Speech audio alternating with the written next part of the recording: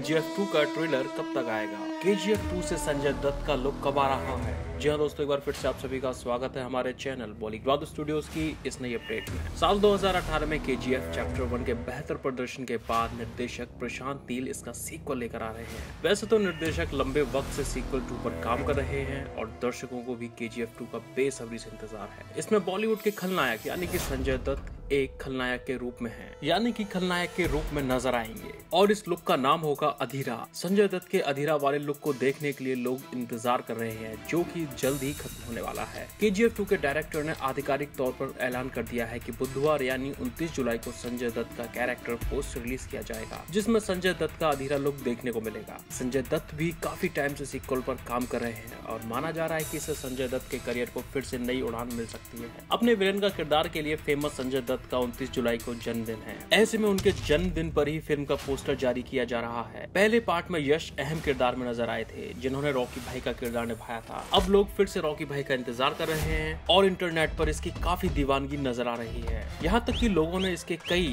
Fan based trailer तक बना दिए हैं, जिसे लाखों लोगों ने देखा है। सैटेलाइट राइट्स के मामले में यश स्टारर के जी ने कैसे चटाई बाहुबली टू को धूल? क्या के जी एफ़ चैप्टर टू से संजय दत्त का लुक लीक हो गया है? नमस्कार दोस्तों, मेरा नाम है गरिमा तोमर, आपका दिल से स्वागत है हमारे चैनल बॉलीग्राड स्टूडियोज की एक और नई वीडियो में।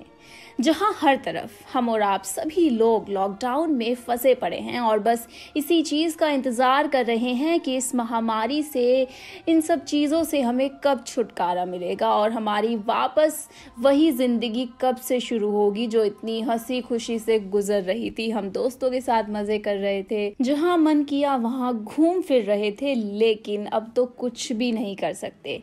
लेकिन जहाँ एक तरफ़ अगर मातम छाया है तो दूसरी ही तरफ़ हमारे स्टार्स हमारे सुपर स्टार्स अपने दर्शकों को खुश करने के लिए कुछ ना कुछ नई ट्रिक निकालते रहते हैं।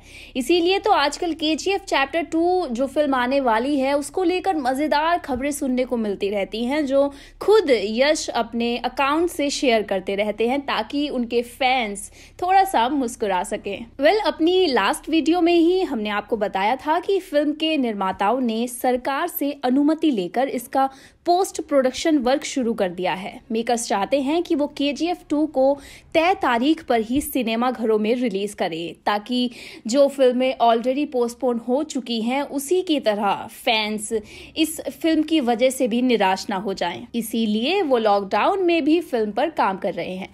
पोस्ट प्रोडक्शन वर्क के साथ साथ मेकर्स फ़िल्म के प्रेजेंटेशन पर भी काम कर रहे हैं, जिसके साथ ही निर्माताओं ने फ़िल्म के सैटेलाइट राइट्स बेच दिए हैं। यश स्टारर के जी एफ़ टू के निर्माताओं ने फ़िल्म के सैटेलाइट राइट्स एक चैनल को करीबन 120 करोड़ रुपए में बेचे हैं। हालाँकि इस बारे में मेकर्स ने अभी तक कोई आधिकारिक घोषणा नहीं की है तो के जी एफ़ टू में यश और संजय दत्त की भिड़ंत देखने को मिलने वाली है, जिसके लिए दर्शक काफ़ी ज़्यादा एक्साइटेड है।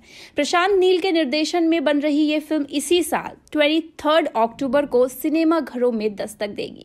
वेल ट्वेंटी थर्ड अक्टूबर से मुझे ऐसे याद आया, मेरे भाई का बर्थडे आता है तो काफ़ी एक्साइटिंग रहेगा हमारे लिए। वेल well, इस फ़िल्म में बॉलीवुड अभिनेत्री रवीना टंडन भी दिखाई देंगी जो भारत की दिवंगत प्रधानमंत्री इंदिरा गांधी का किरदार अदा करती नज़र आएँगी। इस फ़िल्म में यश के opposite Srinidhi Shetty lead actress के तौर पर दिखाई देंगी।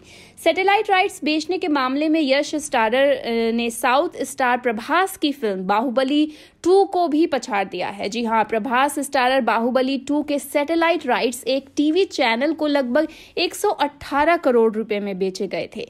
केजीएफ चैप्टर टू को लेकर बीते दिनों ये भी खबरें आई थी कि शूटिंग पूरी ना होने की वजह से इसकी रिलीज़ टाल दी गई है। लेकिन बाद में मेकर्स ने एक इंटरव्यू के दौरान इन सभी बातों को केवल अफवाह बताया। फैंस की उत्सुकता का आलम यह है कि इस समय इंटरनेट पर संजय दत्त की एक तस्वीर लगातार वायरल हो रही है, जिसमें वो बहुत ही खूंखार अवतार में दिखाई दिए हैं। इस तस्वीर को लेकर दावा किया जा रहा है कि ये केजीएफ चैप्टर टू से है। फ़ोटो देखने के बाद ये कहना गलत नहीं होगा कि केजीएफ चैप्टर टू में यश की संजय दत्त के साथ कड़ी टक्कर होने वाली है। दोनों को ऑन स्क्रीन एक दूसरे के साथ दो दो हाथ करते हुए देखने का मज़ा ही अलग होगा। फ़िल्म की लगभग 15 से 20 दिनों की शूटिंग अभी बाकी है और मेकर्स इस समय कोरोना वायरस की वजह से लगे। लॉक लॉकडाउन के खुलने का इंतज़ार कर रहे हैं। ठीक उसी तरह जैसे सलमान खान की फ़िल्म राधे भी फंसी हुई है जो ईद पर रिलीज़ होने थी लेकिन 10 दिनों की शूटिंग बाकी होने की वजह से फ़िल्म की रिलीज़ डेट को पोस्टपोन करना पड़ा।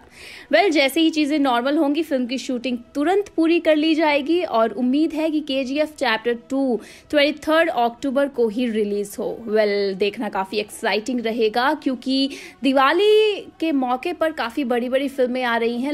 लॉकडाउन की वजह से सभी ने फ़िल्में पोस्टपोन करके दिवाली और क्रिसमस के लिए शेड्यूल कर दी हैं तो ये क्लैश होगा एक तरह से महीने में दिवाली के। तो काफ़ी एक्साइटिंग रहेगा देखना कौन बॉक्स ऑफ़िस पर कितना धमाल मचाता है, कौन बासी मार के जाता है। वेल आपको क्या लगता है? नीचे कमेंट सेक्शन में ज़रूर बताएँ। ये वीडियो अगर पसंद आए तो इसे लाइक और शेयर ज़रूर कीजिएगा।